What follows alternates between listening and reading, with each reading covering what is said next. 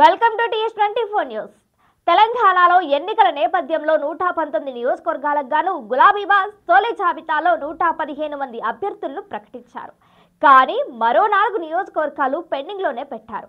ఆ నాలుగింటిలో జనగామ నియోజకవర్గం ఒకటి. ఇక్కడి టికెట్ కోసం సిట్టింగ్ ఎమ్మెల్యే ముత్తిరెడ్డి యాదగిరెడ్డి కేసీఆర్ కేటీఆర్కు సన్నిహితుడు పల్లా రాజేశ్వరరెడ్డి పోటాపోటీగా ఉన్నారు. వీరితో పాటు స్పీకర్ పోచారం శ్రీనివాసరెడ్డి కూడా టికెట్ ఆశిస్తున్నట్లు తెలుస్తుంది. దీంతో జనగామ నియోజకవర్గం హాట్ సీట్గా మారింది. జనగామ టికెట్ ఎవరికి ఇవ్వాలో తెలియక ఎవరికి టికెట్ ఇస్తే పరిస్థితి ఎలా ఉంటుందో ముందే పసిగట్టిన కేసీఆర్ కొన్ని రోజులు హోల్లోనే పెట్టారని టాక్.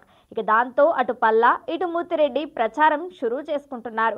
ఒకరిపై ఒకరు విమర్శలు గుప్పించుకునే ఉన్నారు. అయితే జనగామ అభ్యర్థి ప్రకటించేంత వరకు పల్లా గాని ముత్తిరెడ్డి కానీ కార్యకర్తలు అభిమానులతో రహస్య సమావేశాలు పెట్టొద్దు అని కేటీఆర్ ఆదేశించినట్లుగా సమాచారం. అమెరికా టూర్ ముగించుకొని తెలంగాణకు మంత్రి కేటీఆర్ రాకతో జనగామ సీట్ ఎవరికో తేల్చేయాలని అధినాయకత్వం భావిస్తున్నట్లు తెలుస్తుంది. ఇప్పటికే ఇద్దరిని విడివిడిగా పిలిచి కేసీఆర్ చర్చించినట్లు వార్తలు గుప్పమంటున్నాయి.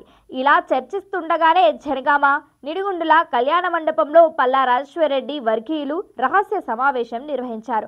అయితే ఎమ్మెల్సీ పల్లా రాజేశ్వరరెడ్డి నిర్వహించిన అనుచరుల సమావేశం జనగామ శివార్లోని తడిగొప్పుల నర్మట మండలాలకు చెందిన నేతలు కార్యకర్తల సమావేశం నిర్వహించారు. ఇక జనగామలో పలు అభ్యర్థిత్వంపై రహస్య సమావేశం ఏర్పాటు చేశారు. అయితే ఈ సమావేశానికి పల్లా దూరంగా ఉన్నారు. హైదరాబాద్ నుండి జనగామ బయలుదేరిన పల్లా అధిష్టానం ఆదేశాలతో మార్గ మధ్యంలోనే తిరిగి ప్రయాణం అయ్యారు ఈ క్రమంలో బీఆర్ఎస్ వర్కింగ్ ప్రెసిడెంట్ మంత్రి కేటీఆర్ నుంచి ఫోన్ రావడంతో పల్లా వెనక్కి మళ్ళారు.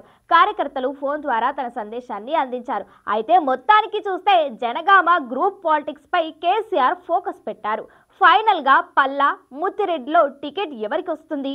ఈ ఇద్దరిని కాదని మూడో వ్యక్తికి వచ్చే ఛాన్స్ ఉందా? కేసీఆర్ ఎవరి వైపు మొగ్గు చూపుతారు అనే విషయం తెలియాలంటే కొద్ది రోజులు వేచి చూడాల్సిందేనని అంటున్నారు విశ్లేషకులు.